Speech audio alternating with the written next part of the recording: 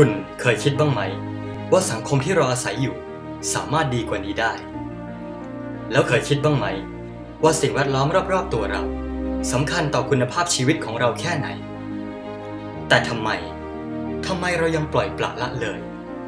ทำไมเรายังไม่ใส่ใจ หรือเพราะไม่มีใครสนใจ เราเลยไม่สนใจ หรือเพราะเรายังไม่ถึงจุดวิกฤต เราเลยไม่วิตก หรือเพราะเรายังไม่เดือดร้อน เราเลยไม่กระตือรือร้น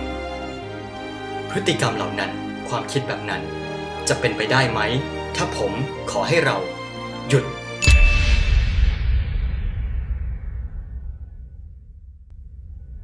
แล้วมาเริ่มต้นกันใหม่ จะดีไหม ถ้าพวกเรามาร่วมมือกัน เพื่อเริ่มต้นที่จะเปลี่ยน จะดีไหม ถ้าพวกเรามาช่วยกันสร้าง และมอบสิ่งแวดล้อมที่สวยงามให้กับคนรุ่นหลัง จะดีไหม ถ้าพวกเราจะช่วยกันคนละไม้คนละมือ เพื่อคืนความน่าอยู่ให้กับผู้คนและบ้านเมือง คงจะดีกว่าถ้าเราไม่มัวแต่รอ แต่เลือกลุกขึ้นมาเริ่ม นับจากตอนนี้เป็นต้นไป เปลี่ยนความคิดใหม่แล้วลงมือทำเริ่มจากสิ่งเล็กๆ เพื่อสร้างสิ่งที่ยิ่งใหญ่ ยังไม่สายเกินไปที่เราจะมาเริ่มต้นกันใหม่ หยุดและแก้ไขในสิ่งที่เรายังแก้ทัน เราทำได้ เชื่อผมสิ เราต้องทำได้ เพื่อลูกหลานของเรา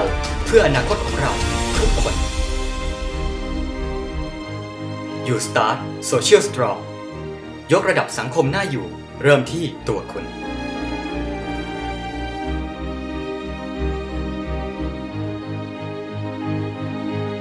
ด้วยความปรารถนาดีจากดอนเมืองโทเว